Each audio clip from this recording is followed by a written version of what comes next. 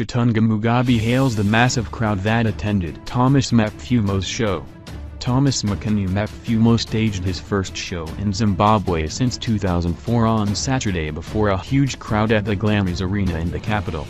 Mukanya was on a 14-year exile as he feared persecution under the old dispensation. What makes his show even more intriguing is the possibility that it was arranged by an entertainment company linked to Bellarmine Chatunga Mugabe, the second son of Robert and Grace Mugabe.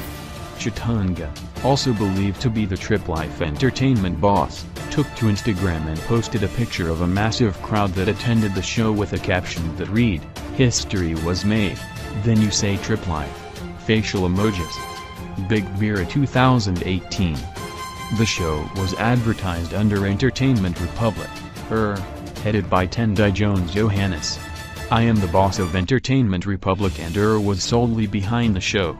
People will always say things and it's unfortunate I don't have control over what people say or post, it's their opinion and they are entitled to it. Mukanya is past now, Natone stress kuti Zimbabwe Ndovafadzis for the next event, said Jones.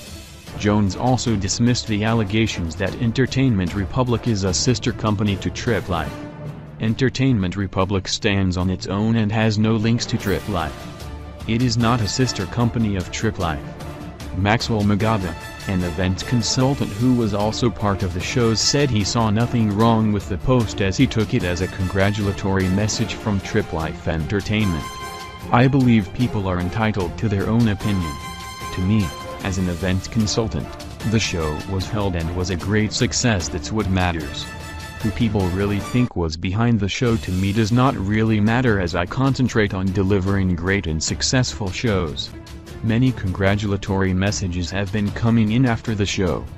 The show created a lot of employment that's what makes me happy, he said.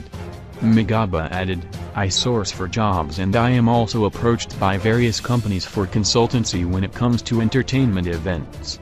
I do not belong to any particular promotions company, rather I work with them,